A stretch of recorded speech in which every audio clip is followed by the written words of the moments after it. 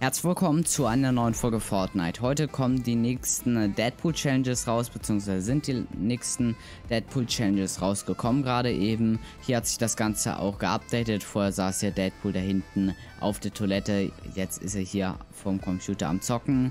Um die Challenges zu sehen, muss man hier einfach einmal auf den Computer raufgehen.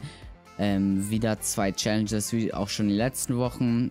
Das er, die erste Challenge ist, finde Deadpools Pömpel. Dafür müssen wir einmal hier in die Hauptlobby gehen, dann einmal auf der linken Seite zu den Agenten rein und dann auf Teen Tiner klicken.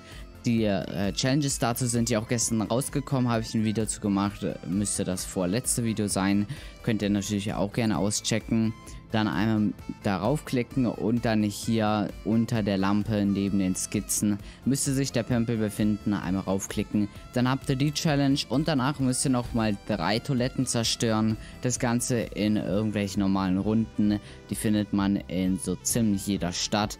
Also egal ob Salty Springs, Lazy Lake, Slurpy Swamp oder wo auch immer, überall sollte man irgendwo mal eine Toilette finden. Es sind auch nur drei Stück, die ihr braucht. Dann habt ihr auch schon wieder die Challenges für diese Woche. Wenn euch dieses Video gefallen hat, würde ich mich natürlich riesig über ein Abo freuen. Außerdem bewertet, kommentiert und teilt das Video. Und schaut auch gerne auf meinem Twitch-Kanal vorbei. Heute werden wir da die Hype Night spielen, die erste Hype Night in dieser Season.